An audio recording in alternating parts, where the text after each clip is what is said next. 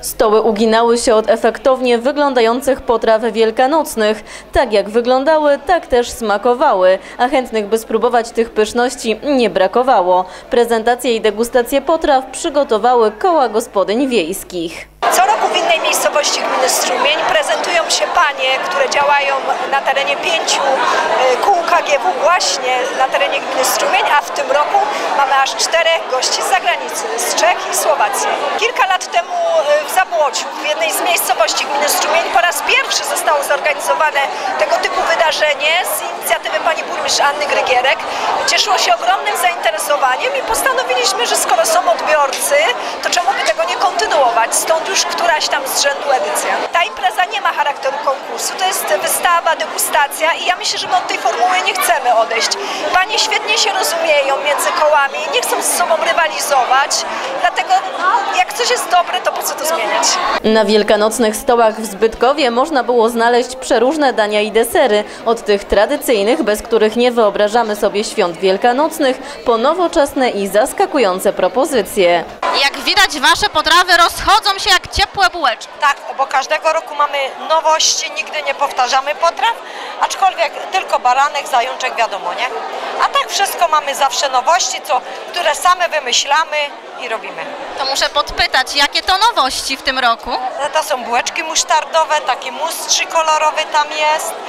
I co tu jeszcze mamy takiego ciekawego?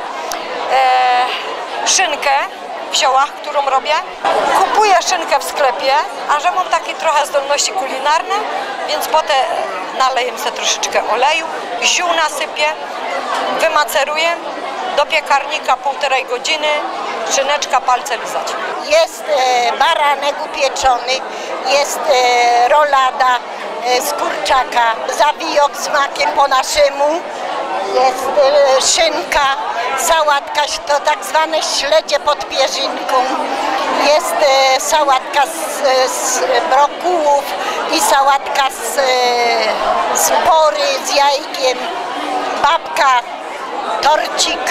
Każda pani jest za coś innego odpowiedzialna? Każda coś robi. Choć przygotowanie wielkanocnego stołu wymaga trochę czasu, to koła gospodyń chętnie biorą udział w tym wydarzeniu. Mogą nie tylko się pokazać, ale również podpatrzeć, co ciekawego przygotowały inne panie, czy wymienić się przepisami. Jest to pracy dużo, bo wczoraj cały dzień od rana do wieczoraśmy gotowały, przyrządzały, ale to jest takie fajne, że można coś pokazać, że mieszkańcy przyjdą, zobaczą, co panie robią, że degustują to, chwalą i to jest takie fajne, nie?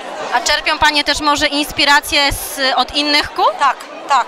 Patrzymy też, no wiadomo, tam gdzie są takie wykwalifikowane kucharki, to one mają takie cudeńka, a my są takie samouki, nie? Wielkanocny stół cieszy się tak dużym zainteresowaniem, iż pojawił się pomysł, by podobną prezentację i degustację potraw zorganizować przed świętami Bożego Narodzenia. Mamy w planach, myślę, że to w przyszłym roku y, się ziści, zmienimy wielkanocny stół na stół bożonarodzeniowy, a skoro o tym mówię, to tak się rzeczywiście musi stać już w przyszłym roku. Co pani na to?